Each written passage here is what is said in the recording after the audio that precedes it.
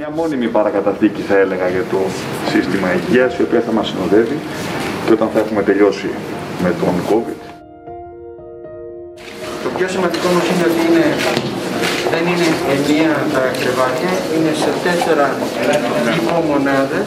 Το κάθε τεταρτημόριο μπορεί να δουλέψει ανεξάρτητα, που είναι αυτό πολύ καλό, γιατί μπορεί η μισή να είναι αφιερωμένη σε νοσήματα που μεταδίδονται και οι άλλοι, τα άλλα κρεβάτια να είναι γενικά κρεβάτια.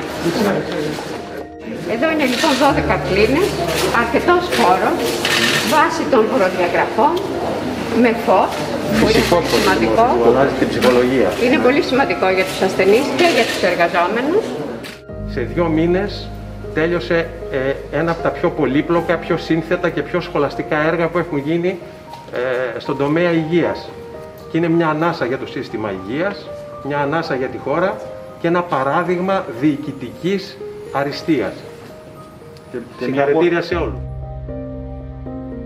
Δεν είναι εξάλλου τα μόνα κρεβάτια εντατική τα οποία ετοιμάζει το Υπουργείο και με την συνδρομή του Ιδρύματος Σταύρος Νιάρχος ετοιμάζονται πολλά κρεβάτια σε πολλά νοσοκομεία και άλλοι δωρητές έχουν σπεύσει να ενισχύσουν το Εθνικό Σύστημα Υγείας, αλλά βέβαια τώρα οι επόμενοι μήνες θα είναι κρίσιμοι και γνωρίζουμε πολύ καλά ότι εάν ε, δεν ε, προσέξουμε όλοι το σύστημα υγείας θα δεχθεί μεγαλύτερες πιέσεις και φυσικά είναι μια μεγάλη ανακούφιση για όλους μας ότι μέσα στον επόμενο μήνα θα έχουμε σημαντικά αυξημένο αριθμό εντατικών κρεβατιών τα οποία σε πρώτη φάση θα τεθούν στη μάχη αντιμετώπισης του COVID και βέβαια όταν τελειώσουμε πια με τον COVID θα είναι στη διάθεση του Εθνικού Συστήματος Υγείας για να τελειώσει μια και καλή αυτό το οποίο νομίζω όλους μας μας έχει ε, ταλανίσει όσοι δηλαδή κατά καιρούς ε, έχουμε ασκήσει εκτελεστική εξουσία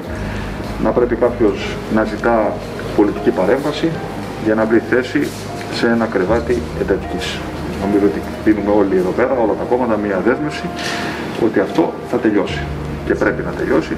Και η Ελλάδα θα φτάσει πολύ σύντομα να έχει αριθμό εντατικών κρεβατιών και προσωπικό που θα το υποστηρίζει. Δεν είναι μόνο οι υποδομές, πάνω απ' όλα είναι οι άνθρωποι οι οποίοι σώζουν ζωές στο μέσο όρο της Ευρωπαϊκής Ένωσης. Αυτή είναι η δέσμευση της κυβέρνησης και αυτή η δέσμευση της κυβέρνησης θα γίνει πράξη. Και βέβαια το δικό σας καθήκον και θέλω το πρόσωπό σας να πω ένα μεγάλο ευχαριστώ σε ε, όλους τους εργαζόμενους στις εντατικές είχαμε την ευκαιρία να αναγνωρίσουμε το έργο τους, να τους ανταμείψουμε και ηθικά και οικονομικά. Στο δικό σας το πρόσωπο να μπορείτε να εκπαιδεύσετε και την νέα γενιά των γιατρών, των νοσηλευτών, να μεταλαμβαδεύσετε αυτήν την μοναδική εμπειρία την οποία έχετε, διότι εσείς 24 ώρες 24 δίνετε τη μάχη με το θάνατο και δεν νομίζω ότι υπάρχει μεγαλύτερη ικανοποίηση από το να σώζετε ε, ανθρώπινες ζωές όπως το κάνετε κάθε μέρα.